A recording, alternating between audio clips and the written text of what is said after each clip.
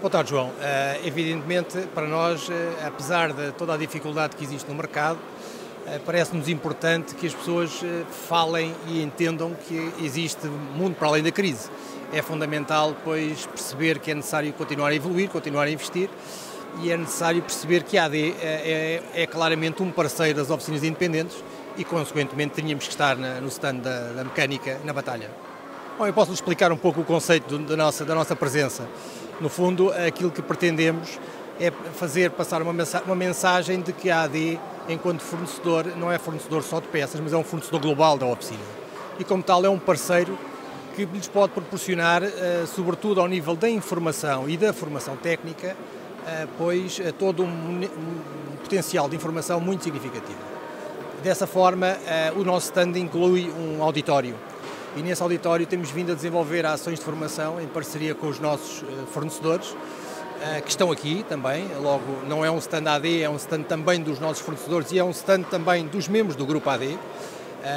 E como tal, pois aquilo que temos feito é procurar, dessa forma, mostrar às oficinas que a formação e a informação técnica é um pilar base para o desenvolvimento dos seus próprios negócios e que o Grupo AD é claramente uma entidade que os pode ajudar no desenvolvimento da sua atividade.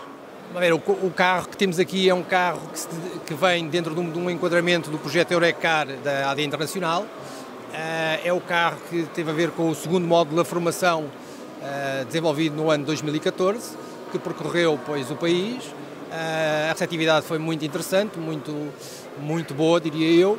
Aqui o carro está sobretudo vocacionado no corner da, do diagnóstico. Nós temos aqui o nosso parceiro Texa, com todos os equipamentos de diagnóstico e tem feito dessa forma, pois, toda um, um, desenvolvimento de atividades virado para a oficina também aqui ao nível da demonstração das potencialidades dos equipamentos.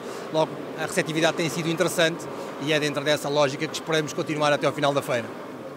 Vamos lá ver, eh, é evidente que o ano de 2014 é um ano em que, de uma forma global, tem corrido bem, eh, com crescimento em termos de, de vendas, em termos de presença junto do mercado oficinal há claramente uh, uma recuperação, nota-se nas estradas, as pessoas percebem que existem mais carros a circular, as famílias necessitam das viaturas para continuar a levar os seus filhos à escola, apesar de todas as dificuldades económicas que o país, que o país tem atravessado, uh, verifica-se que há uma recuperação do mercado. Uh, dentro dessa lógica, pois a AD acompanha esse, esse, crescimento em termos de vendas e as perspectivas para o fecho do ano 2014 são, são animadoras.